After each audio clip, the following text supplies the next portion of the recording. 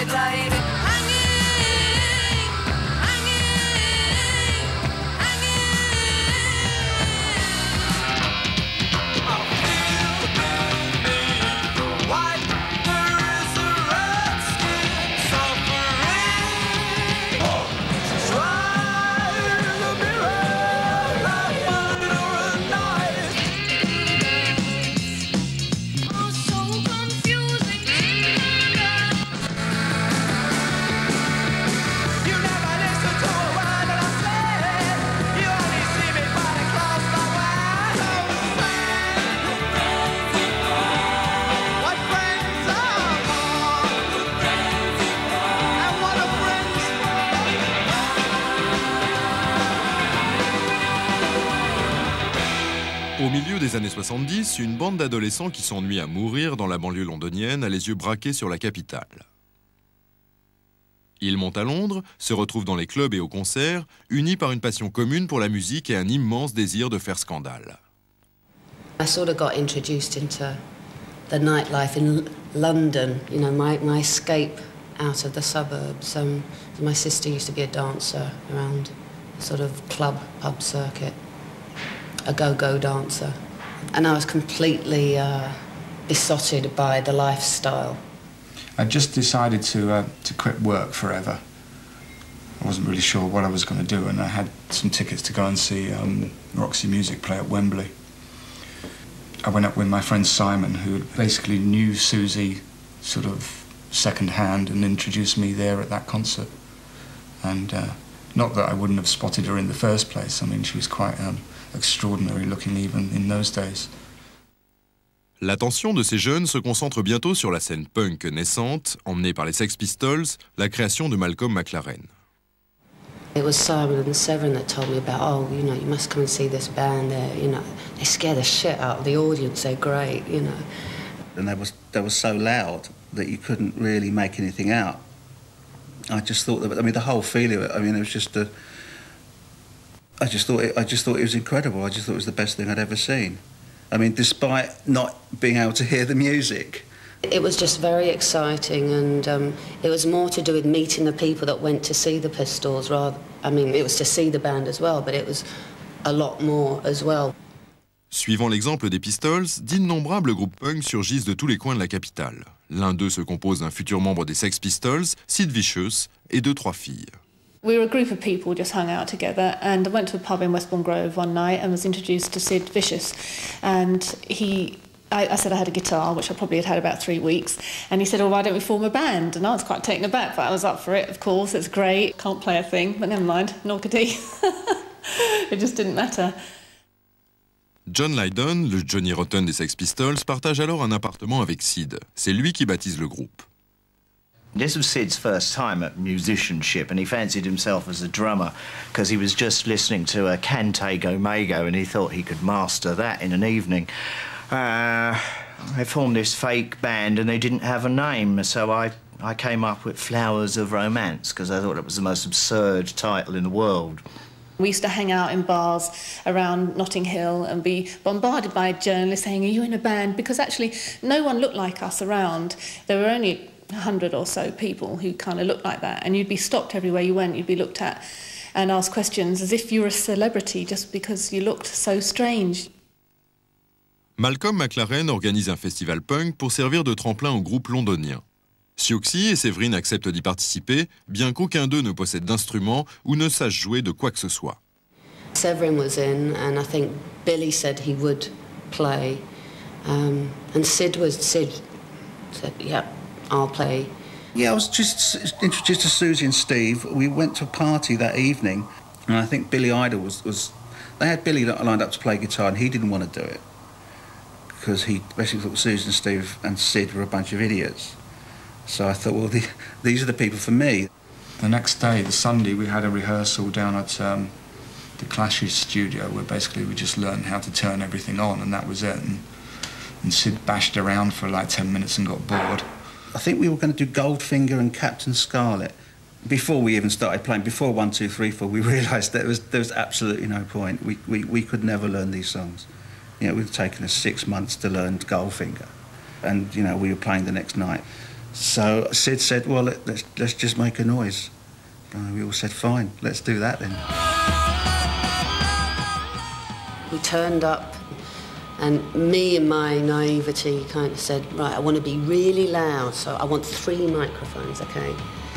So I, I really don't know if this sound engineer was as naive as I would. He said, all right. so that was, you know, kind of a trademark to start off with. I had these three microphones gaffered together because I wanted not twice as loud, but three, you know, three times as loud as anyone else. I wanted to, you know, because I'd read about people's bowels dropping out with certain frequencies, and I thought if I can really try and make it painful, we might see some action here. I don't even know to this day if I was actually turned on. It sounded like there was there was something humming behind me. Sid was just bashing away, and uh, Marco knew the riffs. Marco could play "Smoke on the Water," and I think Marco was quite good even then. And um, he got some handsome feedback, and uh, that's all we needed. Something happened. Something happened. Woo-oo. It was brilliant. It was, you know, the energy was there, and it, it, it was really, it, it, was perfect for the for that moment in time. It was me do, singing or saying the Lord's Prayer, but with like twist and shout, Deutschland über alles, knocking on heaven's door. Siouxsie was barking out these words and uh, lyrics from songs of the past to uh, rearrange the whole meaning. And over all of this was the only musician who, who was like this smoke on the water was wafting in and out of this cacophony. It was so bizarre. With hindsight, we can say it's an art performance or something, but we, it was just four people got up, couldn't be bothered to write any songs, couldn't really play anything, and we just made a noise.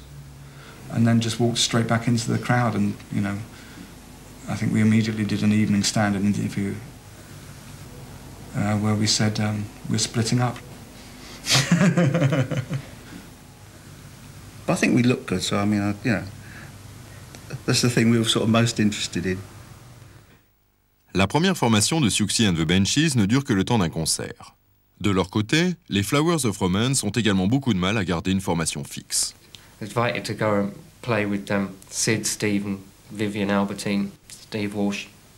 at uh, the Clash's rehearsal rooms in Camden Town. It was freezing.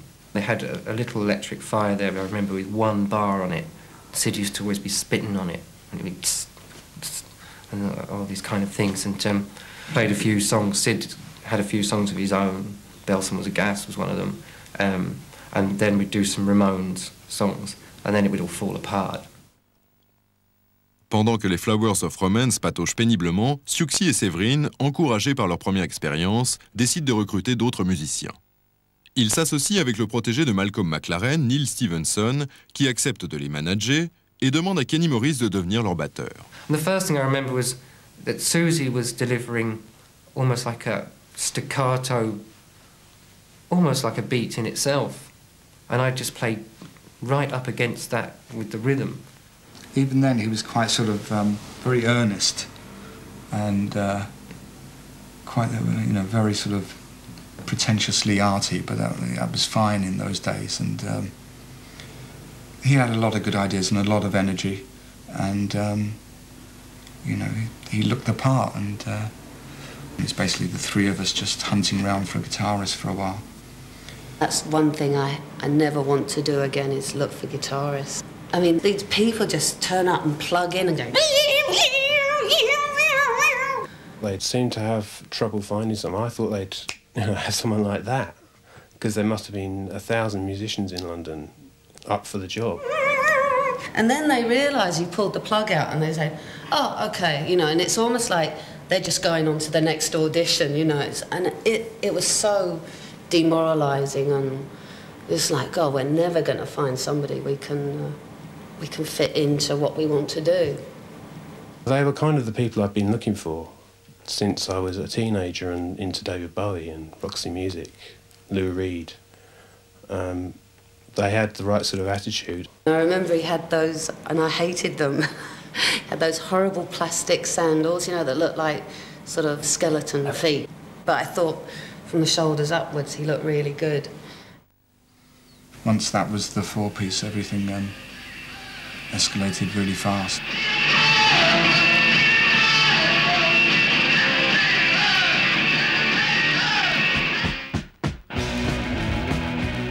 Après avoir joué dans la première formation de Siouxsie and the Benchies, Marco Pironi a formé The Models, un des nombreux groupes punk signés par de grandes maisons de disques à l'affût de la dernière tendance à la mode.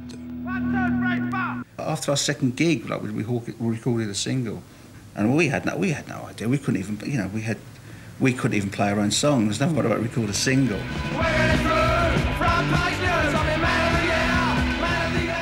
Everybody wanted their own little punk band. Anyone who had short hair and like sort of. Uh, drain up trousers, they were signed. I don't think anyone really, I mean, certainly the majors didn't know what they were signing. I mean, they, they probably had a few kind of like 20 year old A&R men and said, look, go and find a punk band, anything will do. It all sounds disgusting, so it doesn't really matter.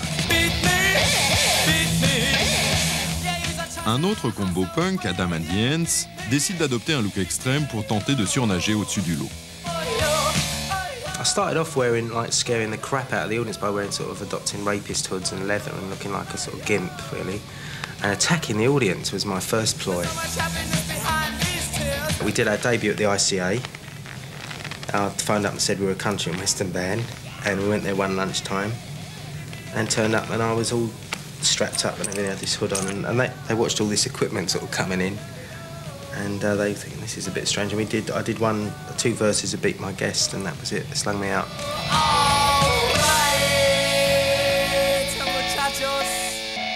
Désormais, les Banshees connaissent un succès monstre en concert. Pourtant, contrairement à leurs concurrents, ils n'ont toujours pas été signés sur un label. We were headlining, we were playing to a thousand people, and, and um, there were bands who were being signed for like 12 albums deals and stuff, and they were playing to like 100 people if they could. Quelqu'un, peut-être leur manager, tente de faire bouger les choses en faisant subir une pression peu orthodoxe sur les grandes maisons de disques. One morning, every record company was either spray painted or had, you know, or chiseled with the, with the slogan "Sign the Banshees, do it now." Um, I don't know if Neil Neil's had anything to do with it. He swore he didn't, but um, it was a, a fantastic idea and it uh, certainly kept the, the temperature up.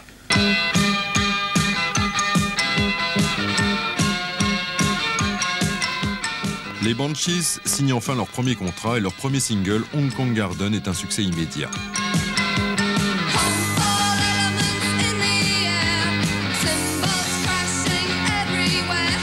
We did the first tour in a limo. Um, which got destroyed by the punters in Glasgow. They scratched capital S dogs on it or something, capital S pigs, which we thought was hilarious. After the show, we thought there might be a bit of an incident outside, so we did the whole sort of um, know, leap into the back of a van with uh, blankets over us, kind of. And we thought, oh, we've arrived, you know, it's just like David Cassidy.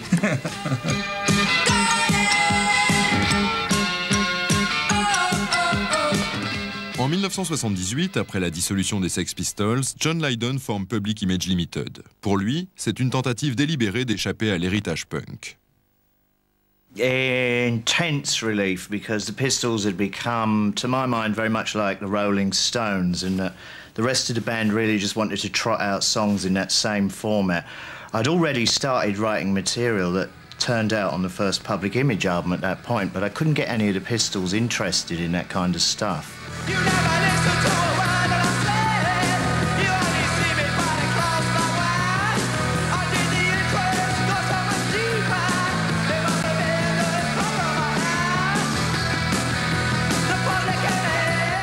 Idea was to just keep it entertaining, firstly for us, and then hopefully that translates to record sales, because let's face it, we do need the money.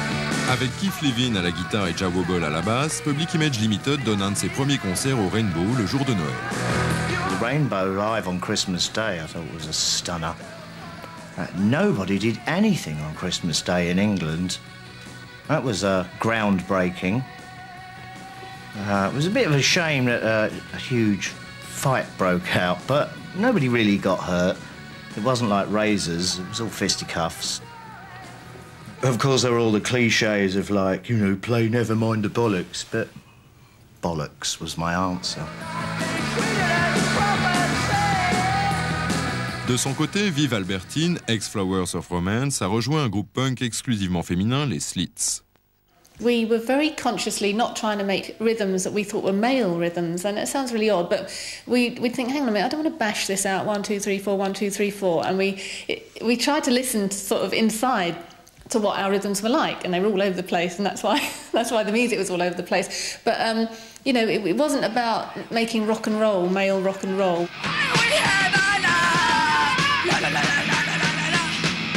The Slits were a highly original outfit, uh, completely stunning, I thought, in every way. Uh, completely purposeful and full of guts, and, and quite insane. Uh, and definitely brought women to the forefront. And punk did that. It brought women out of that, that awful Ronettes, tra-la-la thing that women were always seen as like background vocalists or, or fake hairdos. All that changed, but they they didn't really realise what they had. People say now the Slits were great because uh, you know they're so wild, you never know what was going to happen in their gigs. But that used to give me diarrhea every time I went out onto stage. I was so nervous. We all were. We didn't know how the gig was going to go. We could hardly play. We didn't know if we'd start or finish each song at the same time. Someone would forget, you know, Tessa might forget the bass line. I'd suddenly forget the chorus of a song. It was absolutely nerve wracking. Fucking shit! Sound of tune! Palmolive partie, il faut la remplacer. Contre toute attente, elles choisissent un batteur. It was a girl. It's a girls' unit, you know. Anyway, I don't know. I was, maybe I was the token girl. Budgie was a fantastic drummer and actually brought the whole thing together. He was so solid. Whereas before, you know, we'd all been a bit more improvisational, but he was absolutely rock solid, and all the songs suddenly gelled, and that's when we felt we wanted to record.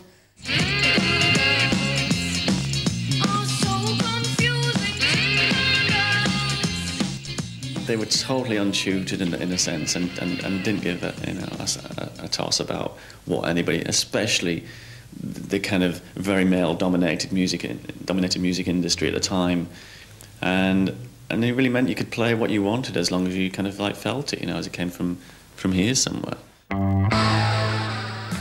Au sein des Banshees, les premiers signes de mésentente apparaissent au moment de choisir un producteur pour leur prochain single, Playground Twist. Leur manager, Nils Stevenson, opte pour un Américain, Mike Stavrou, un choix qui ne fait pas l'unanimité. That was the beginning of the rift between me and Siouxsie and uh, John and Kenny because John and Kenny just couldn't bear him. And he d- didn't like our music for a start. He was so laid back. Everything took for ages to get done. And um, he just didn't give a shit. Stavrou was not a joy to work with, and uh, Nils interfered in the, the production um, and started to try and get me to do things that I did not do naturally because he liked other guitarists doing them. He knew who buttered his bread, so he was listening to me and Siouxsie and Nils and not really paying too much attention to John and Kenny. We couldn't write new songs fast enough because we weren't getting on well enough. And it wasn't out and out fighting, but it wasn't a very creative atmosphere either.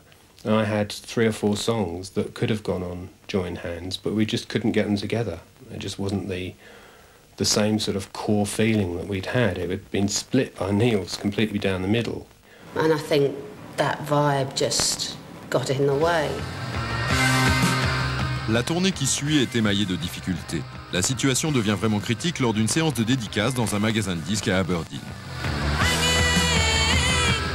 We walked into the record shop and they were playing Join Hands.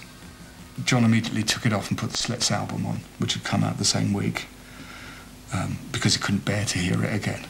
So Siouxsie got, you know, her hackles were rising already. And we started signing a few things.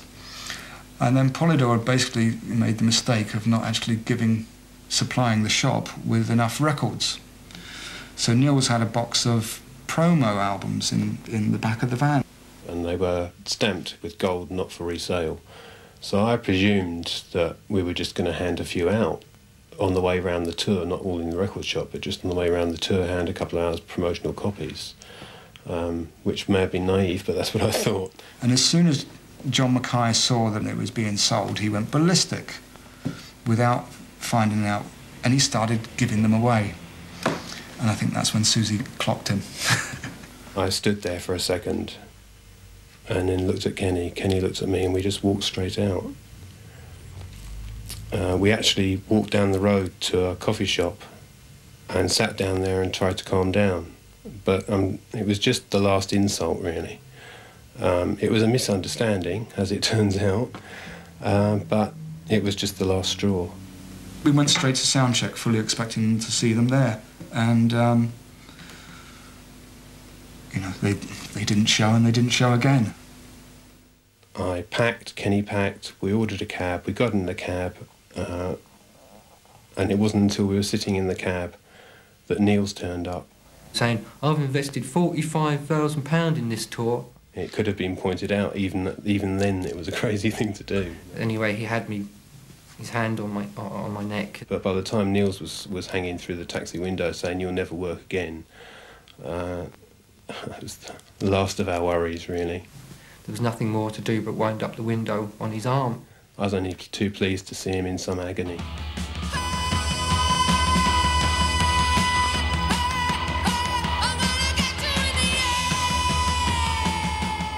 Fucking flushed everything down the toilet, basically.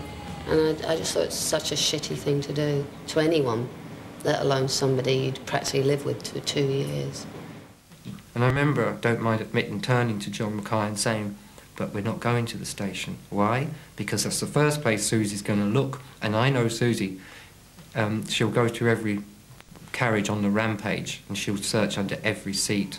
Of course she did.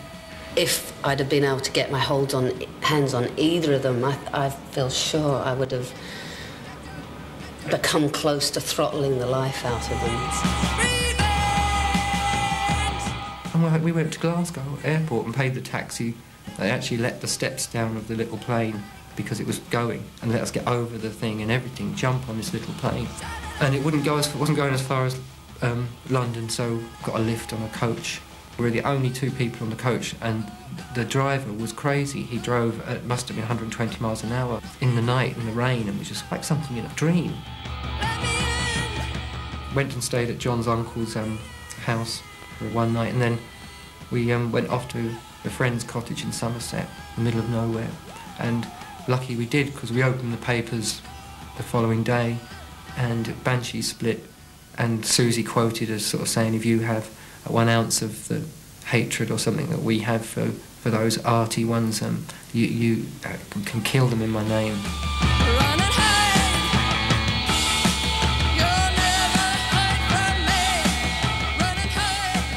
De retour à Aberdeen, Siouxsie et Séverine doivent très vite recruter un nouveau batteur et un guitariste sous peine de devoir abandonner la tournée. Ils se tournent alors vers Budgie qui vient de quitter les Slits.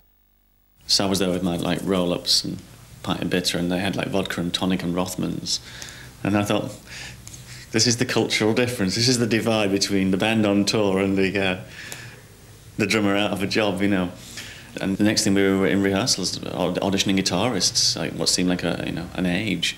But at the end of the rehearsal, I kind of think, well, well Budgie was really good. It kind of didn't really, didn't really piss me off at all. you know, I, kind I noticed him in that he didn't do anything that well, well that you know that, that was like sort of you know sort of busy because I hate, I hate busy drummers. And they had Marco Pirroni on guitar to help us get through the rehearsals, which was bizarre. Then they asked Marco to join. He said by lunchtime he wanted to kill himself. He said he would rather slit his throat. Quant aux guitaristes, ils empruntent Robert Smith de Cure qui assure leur première partie. And I think it was within about two weeks of rehearsals we went back on the road and picked up the Join Hands tour. The audience actually knew the songs better than I did. I remember in the first gig at Le- Leicester, de Montfort Hall, where there was supposed to be a, a stop in the song. I think it was Switch. Switch being the, the classic one. And every time Siouxsie stopped singing, I remember I would think, oh, shit, stop. And the audience were kind of like miming the drums for me, you know, and um, as they sang all the lyrics as well. So I had to quickly make sure I got it right.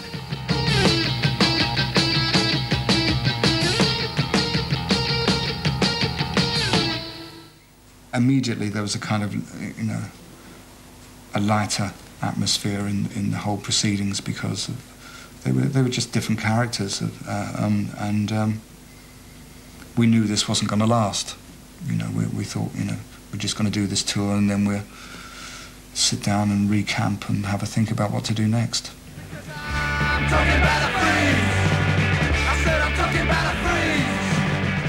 Alors que les Banshees se reforment, Marco Pirroni commence à se lasser de jouer au sein des Models. I got rapidly disillusioned with punk.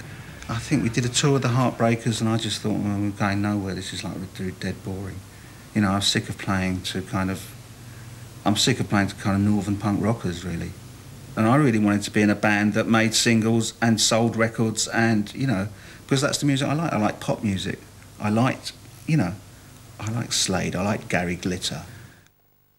Adam Ant, lui aussi déçu par le punk, cherche à développer un son plus pop. I've seen bands like the Police on television, and you know, and, and, the very few punk bands that made singles, you know, um, and got through like the Jam and people like that. Um, there was nothing there that intimidated me at all, and I didn't think I could do as well, if not better. And I think that drive took me to desperate measures.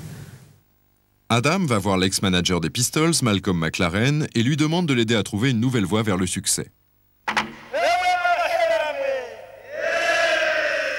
He started getting into this idea of uh, the Burundi thing and the, the tribal thing. It was really more of a tribal thing. And uh, he got Burundi Black and speeded it up to 78. So that was it. And I remember we'd, we'd, we'd have to go to Dave's house, Dave Barb's house, and sit in a circle and you should hit sticks, boy. We don't want guitars, we want sticks. Because at the start he just wanted sticks, and I think he wanted a prehistoric sort of band. Ces musiciens deviennent le noyau du nouveau projet de McLaren baptisé Bo Wo Wo. Persuadé qu'on lui a volé son groupe, Adam décide de contre-attaquer et commence à recruter une nouvelle formation.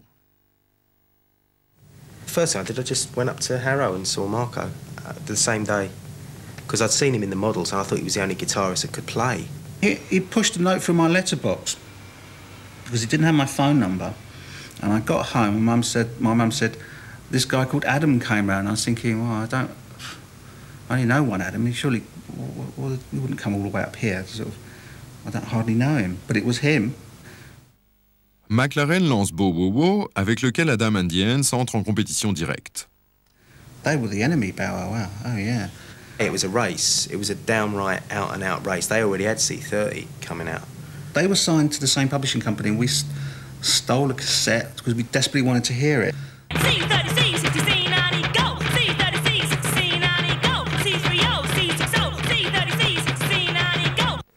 we heard it and we thought, this is great.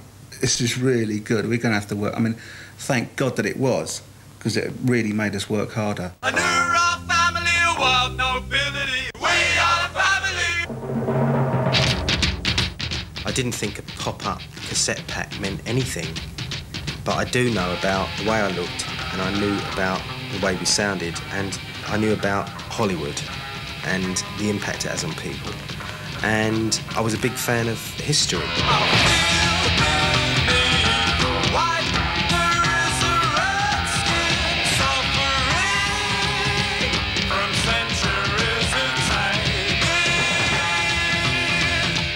It had evolved over the years wearing makeup, and by the time I put that together, the Apache line was a declaration of war. So really, I was able to put the, the tribal thing together with something that was quite heroic. Si certains groupes comme les Ants renouent avec le succès en changeant de formule et de look, les Slits se refusent de compromettre leur racine punk. We wanted to just be commercial but be ourselves, and then somehow the two things didn't go together. I don't know if you have to compromise too much to be commercial, maybe. You just have to rub too many edges off. We wanted to keep our edges. They wouldn't play you if you had a name like that. And in fact, we were beginning to think we might change the name five or six years into the band, but actually we split up instead. So.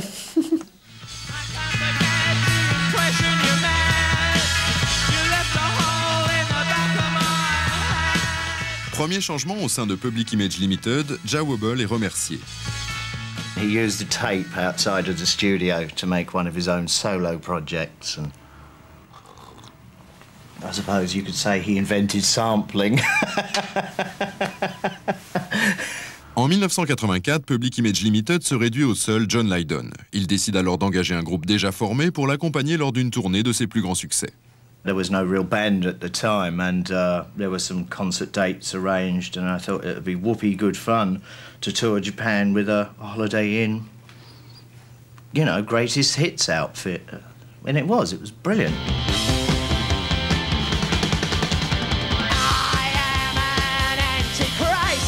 I have every right to perform it anytime I so wish because I wrote the damn thing. It's my song.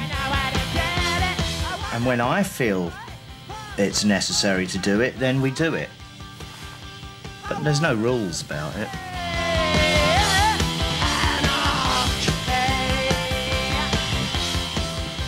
Les Banshees continuent désormais avec Budgie comme membre permanent. Mais le départ abrupt de John McKay et de Kenny Morris a marqué tous les protagonistes. It left us completely bereft of uh, record company, group, management, everything. Um, they kind of convinced themselves for a little while that um, we'd planned it, but it just doesn't make sense. As soon as we got off the road, I was just in bed for about a month. Anyway, I did a lot of writing, and one of the songs was called Drop Dead, which was to a certain duo. I thought it'd be great if there was a singing telegram with, you know, some dead roses that turned up at, at somebody's doorstep. He completely loathed, so I, I invented a kind of a singing telegram to wish somebody ill. Drop dead. You stinking little creep. Drop dead. Um, I kind of enjoyed doing that. En quête d'un nouveau guitariste, Séverine repère un banshee potentiel en la personne de John McGeoch. I saw uh, McGeoch play with Magazine on TV and I thought that was it. We had to steal him. And it was uh, the first of many thefts. Nils Stevenson, who was the manager at the time, reckoned he courted me with limousines and champagne and stuff like that. Well, he did, but that wasn't why I joined the Banshees. I, I wanted to be a Banshee. I couldn't resist. And it was like a new lease of life. What was so great was it wasn't continuing where we left off, it was just starting again.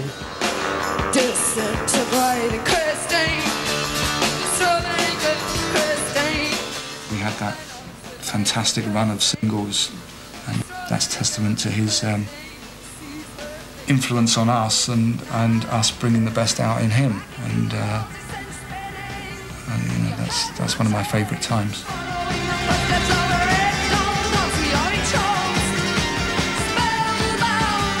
Les Banshees alignent alors les singles, acclamés aussi bien par le public que la critique. Adam and the Ants vont eux aussi entrer dans une ère de domination des charts, sans pourtant recueillir les faveurs de la presse musicale. I think about a week before we went on top of the pops, Nick Kent had written that I'd um, I'd gripped defeat from the mouth of victory and business like that. We were the fag end of punk rock.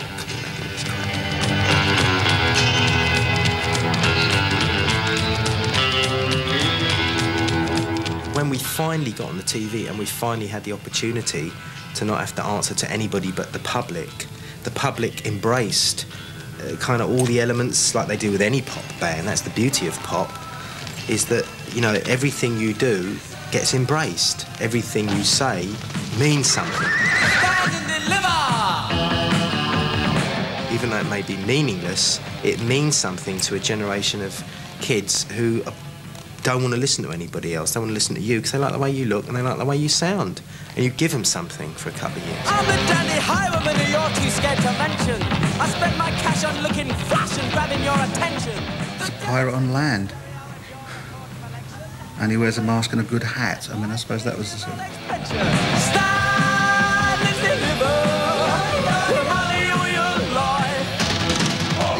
obvious, you know, once you've got a song about a pi- highwayman, uh, has to be called Stand and Deliver, and it has to go dum da dum da dum da dum, you know, has, it's, you know. I mean, like, when we brought out St- Stand and Deliver, the enemy accused us us of putting, um, oh, this sounds like it should have coconuts on it, you know, and what they didn't know is it does have coconuts on it, but they, they're mixed quite low.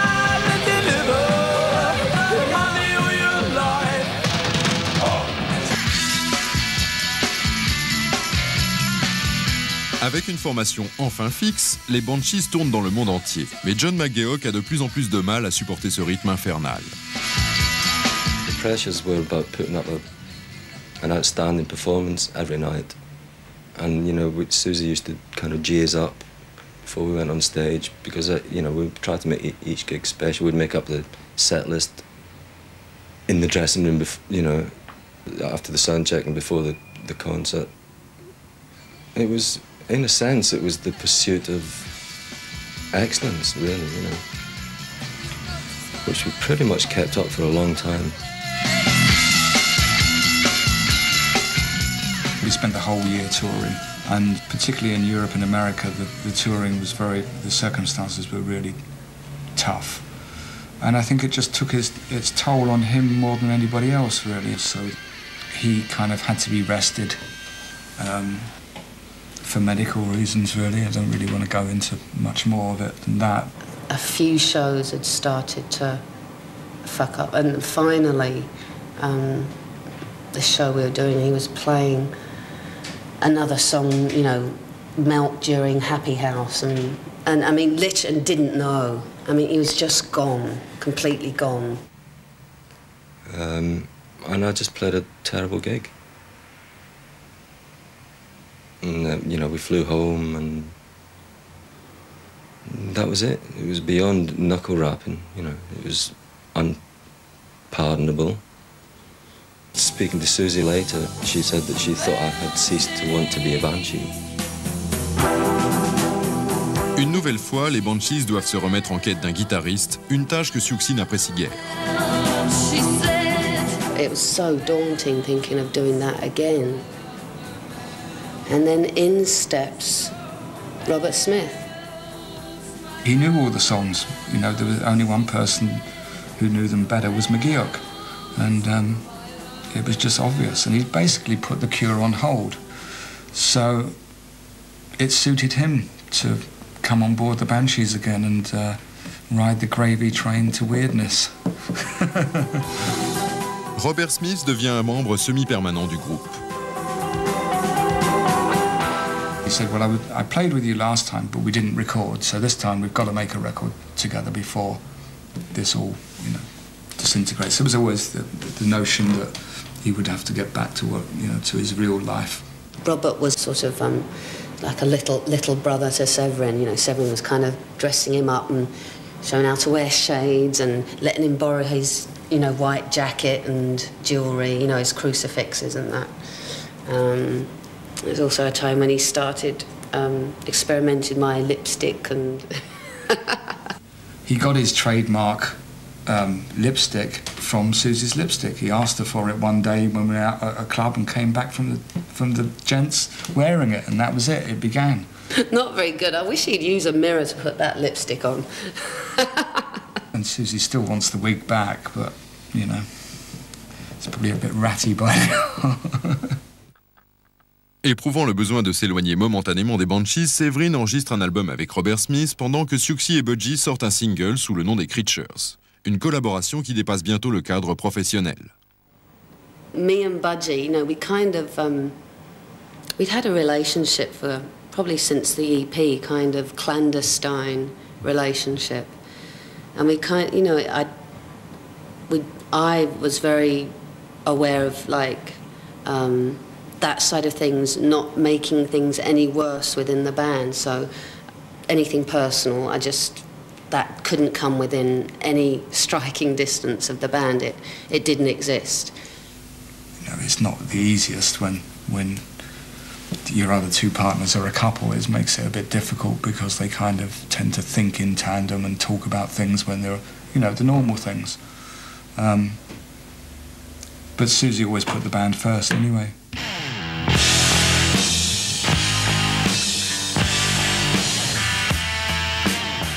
Au même moment, Adam sent que son groupe arrive en bout de course. The band just wasn't functioning. They'd all we were just exhausted, didn't like each other. We had three managers in the band, you know, and I had to make appointments to get a sound check. It got very rock business. Everyone seemed to have their own manager, and it, it was just, oh, I didn't, you know, it was too much to lug around. There was one sound check we were doing, and um, I don't know. Some, it's always places like Scandinavia, you know. There's a hello, and you're in the middle of this this big place, and Chris Hughes was playing Frank Zappa, Marco was playing um, uh, Blockbuster by the Sweet. Uh, Gary Tibbs was playing Slap Funk, which Marco hates, and uh, and Terry was having a cup of coffee, and I thought, I'm sitting up there listening to it, and I just thought, this is a nightmare.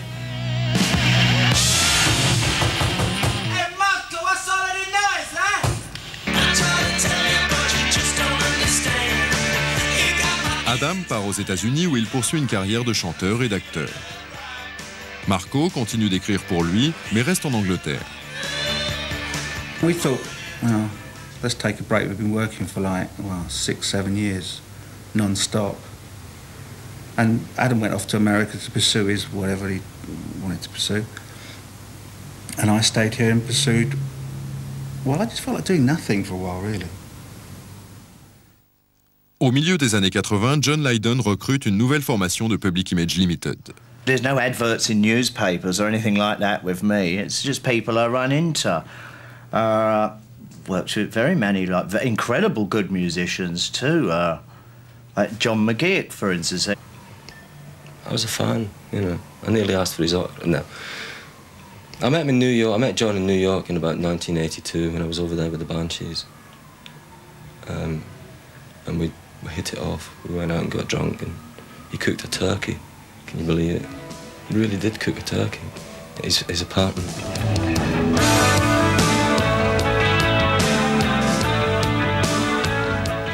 The fun with him would be he is such an incredibly good guitarist.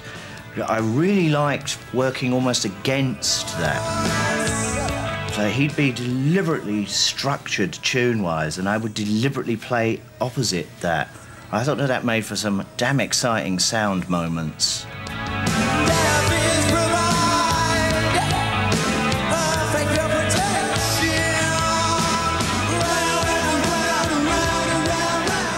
We were very big in America. Couldn't get arrested in the UK. We did 140 gigs one year in, in North America and Japan and places like that, and two in England.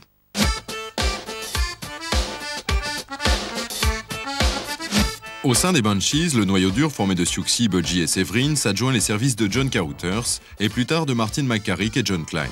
Parmi les albums enregistrés par le groupe pendant la seconde moitié des années 80, certains vont connaître un immense succès. Aucun d'eux n'avait revu ni parlé à leur ex-guitariste John McKay depuis 1979 lorsque celui-ci les avait quittés en pleine tournée. Puis, dix ans plus tard, pendant sa lune de miel dans un petit hôtel dans la région des lacs, le passé de McKay ressurgit. We went down to dinner that night and went to sit down, and uh, our hosts came over and said, "No, we've got a table for you. It's just over here."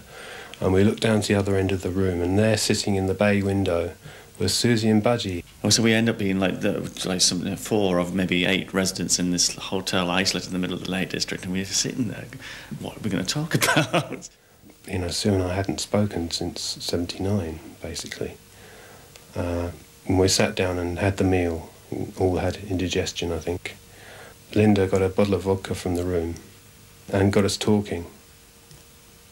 And by the end of the evening, we kind of patched things up. I, I don't know if we'd actually covered everything, but we understood one another a bit more. And it wasn't daggers drawn anymore. And it was just such a, an incredible coincidence, anyway, that, you know, it's the sort of thing you can't fight.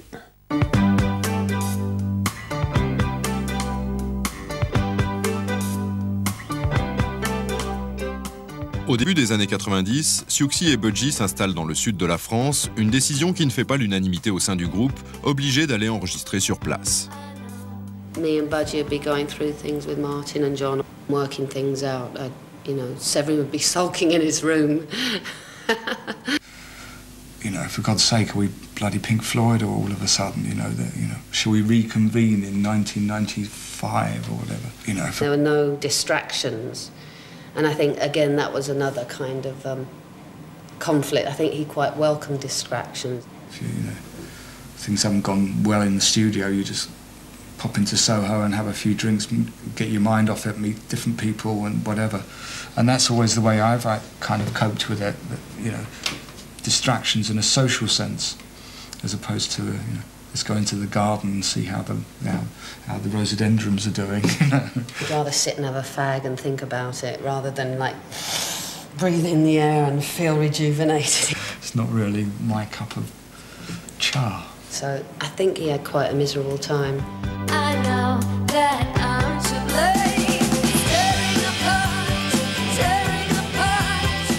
Au milieu des années 90, tous les membres des Banshees se demandent s'il ne vaut pas mieux en rester là.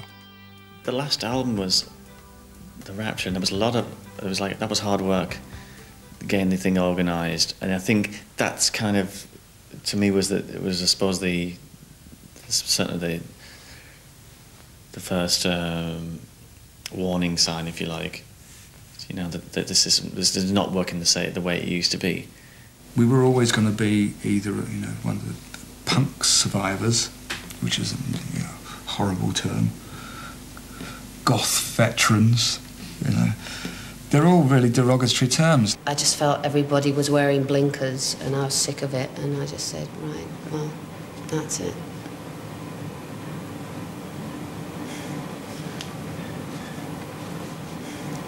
Après 20 ans de carrière, ils annoncent leur séparation.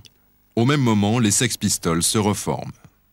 It wasn't the great big money earner that they, the world would like to believe, uh, and it was a bit of fun, and it's something I really wanted to do. I thought that was the right time to do it. That did cheer me up. I mean, the Pistols asked if we wanted to um, support them. I said, oh, bugger off, we just split up. Mentally, you do go through that process where you feel like you just want to escape from your past, and then you come around to realise that, well, your past is as important as your future, and both take place in the present, whether you like it or not. No shame. No, I, I'm not interested in those kind of.